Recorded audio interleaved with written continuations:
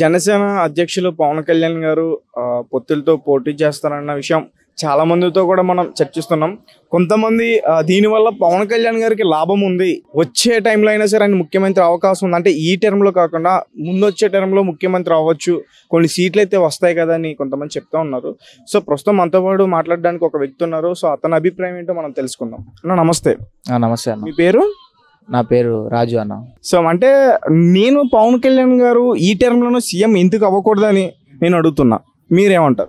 అంటే కాంపిటీషన్ ఉందన్న. ఆయనకి అంత రాజకీయ అనుభవం లేదు. ఇంకోటి ఎలక్షన్ అంటే రాజకీయాల్లో ఉండాలంటే చాలా డబ్బు కావాలి. సో పవన్ కళ్యాణ్తో కంపేర్ చేస్తే ఆపోజిట్లో ఉన్న పర్సన్ దగ్గర చాలా డబ్బు ఉంది. ఎవరు జెన్యున్గా కొంతమంది ఓటేస్తారు కానీ అందరూ ఓటేయరు అన్న కంపల్సరీ వాళ్ళకి ఏమైనా అందినాయా? పథకాలు అందినాయా? లా- లేకపోతే లాస్ట్ టైంలో కూడా మనీ వచ్చినాయా?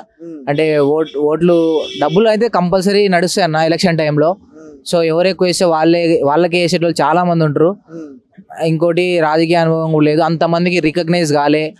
ఇంకోటి పవన్ కళ్యాణ్ గారు ఏమేమి చేస్తారో ఇంకా జనాల దగ్గరికి రీచ్ కాలేదు. అంటే ఒకవేళ ఆయన అధికారంలోకి వచ్చిన తర్వాత ఏమేం మంచి చేస్తారో ఇంకా జనాలకి రీచ్ కాలే. ఆయన కూడా దాన్ని ఎక్స్ప్లెయిన్ చేయడంలో ఇంకా ఇంకా చాలా ముందుకెళ్ళాలి.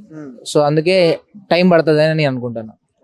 అంటే ఫస్ట్ నువ్వు ఒక విషయం అన్నా అంటే పవన్ కళ్యాణ్ గారికి రాజకీయ అనుభవం లేదని నువ్వు అన్నావు. ఆయన రాజకీయంలోకి వచ్చి దగ్గరగా పదకొండు సంవత్సరాలు అవుతుందేమో నాకు తెలిసి. రెండు వేల పద్నాలుగులో వచ్చారు ఆయన. అప్పుడు దానికి ముందే స్టార్ట్ చేశారు. రెండు వేల పద్నాలుగులో టీడీపీకి మద్దతు ఇచ్చారు. అప్పటి నుంచి ఇప్పటి వరకు కౌంట్ చేసుకుంటే ఎన్ని సంవత్సరాలు అయింది? ఇంకేం అనుభవం కావాలి? రాజకీయ అనుభవం అంటే ఇప్పుడు పవన్ కళ్యాణ్ గారు అందరికీ తెలుసు.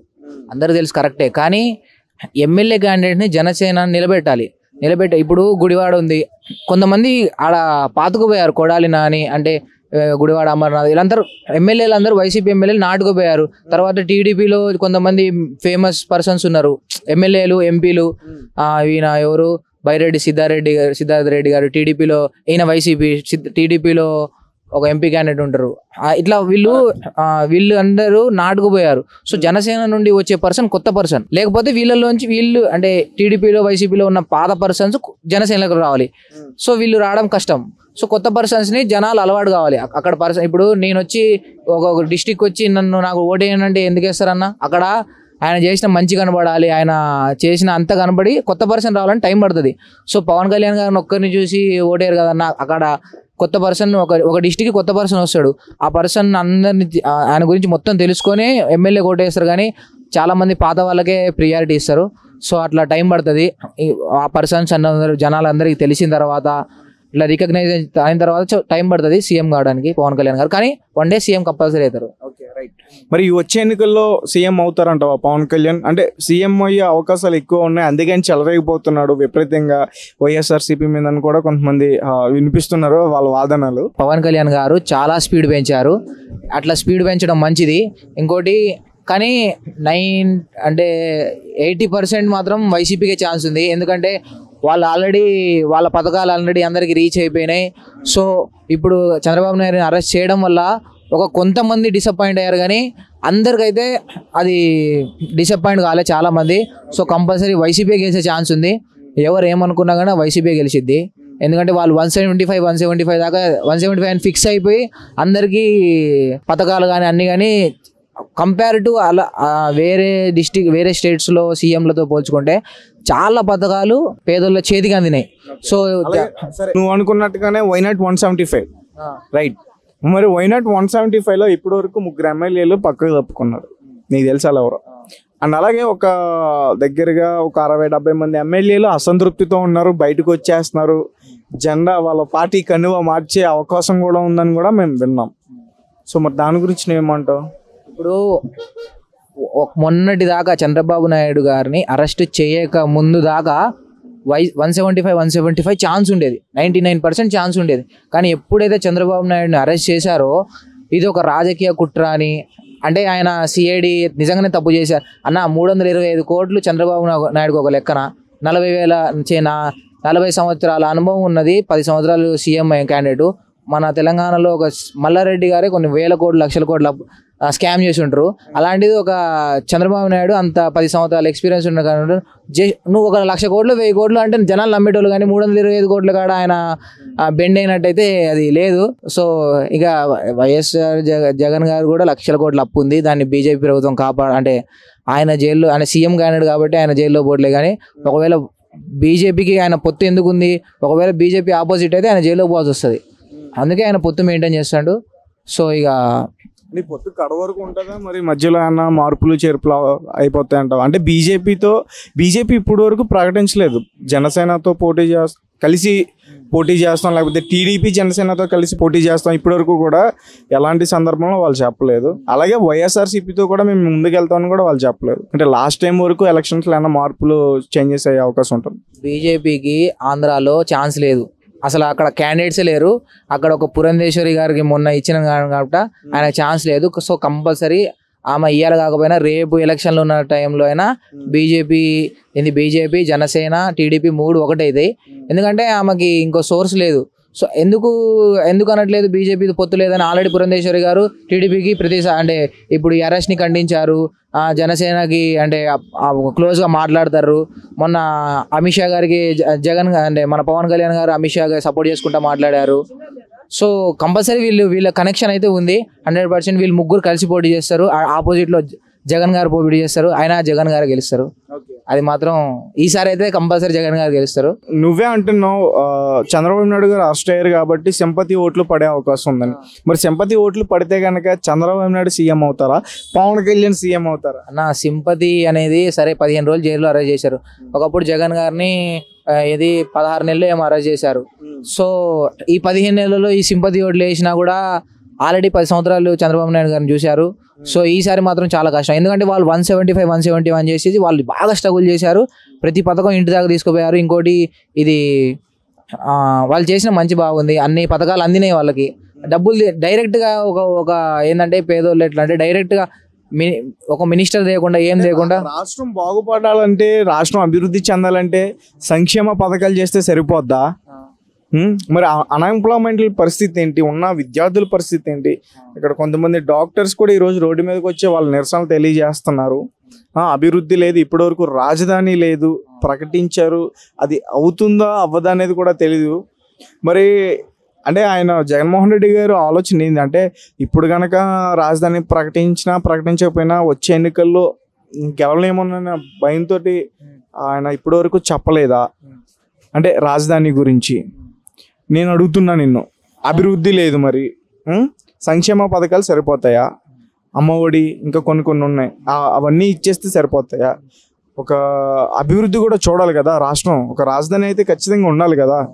అలాగే గతంలో కూడా ప్రత్యేక హోదా గురించి వీళ్ళు వేరే వాళ్ళతో ఎలాంటి పొత్తులు పెట్టుకోలేదు. సింగిల్గానే ఉన్నారు. రైట్ గెలిచారు. మరి ఇప్పుడు ఎందుకు బీజేపీతో స్నేహంగా ఉన్నారు? మరి ప్రత్యేక హోదా గురించి ఎందుకు మాట్లాడట్లేదు?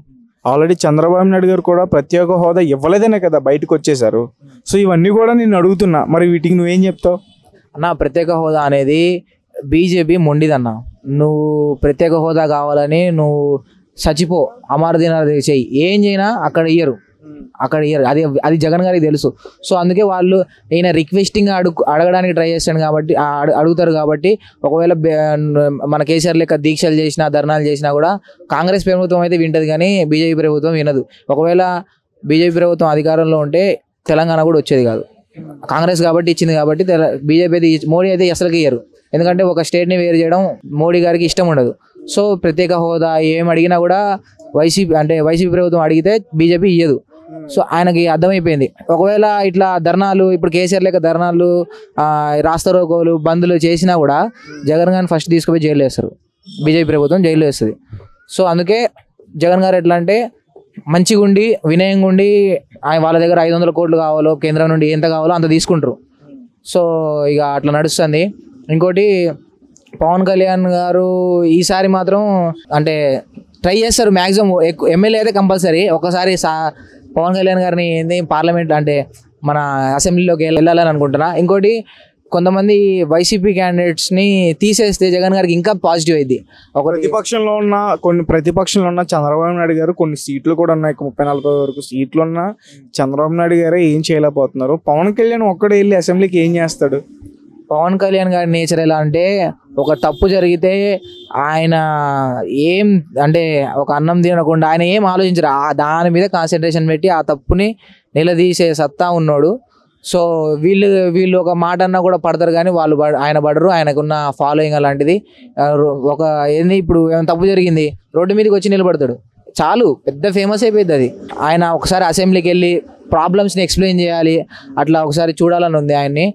ఇంకోటి ఈ వైసీపీలో కొంతమంది క్యాండిడేట్స్ని తీసేయాలి జగన్ గారు. ఎవరినంటే ఈ కొడాలి నాని. కొడాలి నాని గారు నాకు తెలిసి మరి ఆయన అసలు ఒక ఆయన ఎట్లా వచ్చారు అధికారంలోకి? తెలంగాణలో అయితే అలాంటి పర్సన్ని ఎమ్మెల్యే కూడా గెలవనియరు. ఒక కార్పొరేటర్ కూడా గెలవనియరు. అలాంటి పర్సన్ని కార్పొరేటర్ కూడా గెలవనియరు. ఎందుకంటే మీరు ఒకసారి యూట్యూబ్లో కొట్టి కొడాలి నాని స్పీచెస్ అని కొట్టండి. ఒక్క వీడియో ఒక బూతు లేకుండా మీరు చూడండి. వెదవ నా కొడుకు బఫు నా కొడుకు. ఇక అయ్యేనా ఇక? ఒక్క ఏమైనా మంచి మాటలు మాట్లాడినట్టు ఏమైనా అభివృద్ధి గురించి మాట్లాడినట్టు మరి వాళ్ళ ఆయన ఆయన కాన్సిస్టెన్సీలో ఆయన మరి రోజాని పేరు నాని గారిని కొడాలని తిట్టడానికే పెట్టుకున్నారంట పెట్టడానికే పెట్టుకున్నారు. సరే పెన్ని నాని గారు అనిల్ గారు వీళ్ళు కొద్దిగా వీళ్ళ భాష కొద్దిగా బాగుంటుంది. అంటే వీళ్ళ భాష భాష కూడా బాగుంది. కానీ వీళ్ళు ఆ కొడాలి నాని అయితే ఆయన ఒక పచ్చిగా ఒక లారీ డ్రైవర్లు ఒక గలీజ్ గలీజ్ పర్సన్స్ కూడా ఒక పే అంత అట్లా మాట్లాడరు. మరి ఆయన వాళ్ళ పిల్లగాళ్ళు కొడాలి నాని పిల్లగాళ్ళు కూడా ఆయన వీడియో చూడలేరు. అంత పచ్చిగా ఉంటాయి మరి రోజా గారు ఇంకోరు ఏంటంటే జగన్ దగ్గర మార్కులు కొట్టేద్దామని ఇక చంద్రబాబుని టార్గెట్ చేస్తారు జగన్ని ఇంప్రెస్ చేద్దామని చంద్రబాబుని టార్గెట్ పదవులు కొట్టారు కదా మళ్ళీ మార్కులు కొట్టి ఏం చేస్తారు? అంటే జగన్ దగ్గర మంచి మార్కులు ఉండాలి. ఎప్పటికైనా జగన్ సార్ ఆ మనం ఉండాలి అని. అంటే మనం చంద్రబాబు తిడితే ఈయనకు ఫేమస్ అవుతాం. అన్న ఆ టైప్లో ఉన్నారు కానీ ఒకసారి ఆయన వయసు డెబ్బై సంవత్సరాలు ఆయన ఎనభై సంవత్సరాలు ఆయనకి రాజకీయ అనుభవం ఉంది. సో మాట్లాడేటప్పుడు ఒక రెస్పెక్ట్ అనేది ఒక సరే ఆయన రాజకీయ రాజకీయాలు పక్కకు పెట్టినా కూడా ఒక మనిషికి రెస్పెక్ట్ చేయడం మినిమం కాంపెన్సేషన్ నేర్చుకోవాలి. ఎందుకంటే మీ వల్ల మీరు ఫేమస్ సెలబ్రిటీస్ మీరు మాట్లాడే మాట్లాడలు లక్షల మంది చూస్తారు. మీ ఇట్లా పిచ్చి కుక్క లెక్క మాట్లాడితే మరి వాళ్ళ ఆంధ్ర వాళ్ళు ఎట్లా ఓటేస్తారో నాకైతే అర్థం కావట్లేదు అన్న అలాంటి పర్సన్స్కి నువ్వు మంచి చేయన్నా నువ్వు మంచి చేయవు. నువ్వు మంచి చేస్తానని నువ్వు పిచ్చి పిచ్చి మాటలు మాట్లాడి నీకు ఓటేస్తారా అది అది అది మాత్రం కరెక్ట్ కాదు. నేను నాకు వైసీపీతో నేను వైసీపీ మనిషిని కాదు నేను టీడీపీ మనిషిని కాదు నేను జనసేన మనిషిని కాదు. కానీ నేను ఎందుకో ఇట్లా యూట్యూబ్ ఓపెన్ చేసి వీడియో చూస్తుంటే ఆయన మాత్రం మాత్రం ఎట్లా అంటే ఒక కత్తితో పొడిచేయాలి ఆయన్ని. అంత కోపం వస్తాయి. ఆయన అంటే చంద్రబాబు నాయుడు మేము మేము చంద్రబాబు మా చుట్టం కాదు గొట్టం కాదు.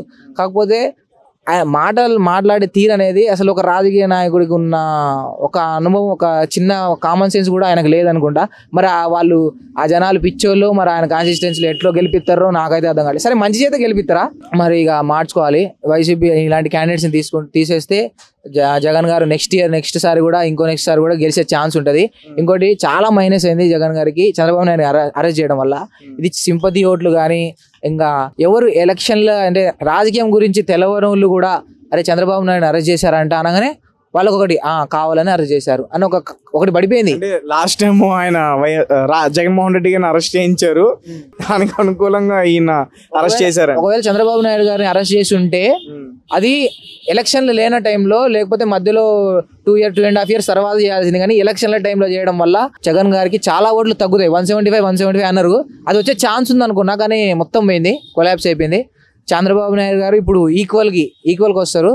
కానీ ఛాన్స్ మాత్రం మళ్ళీ వైసీపీకే ఉంది. Okay right thank you so much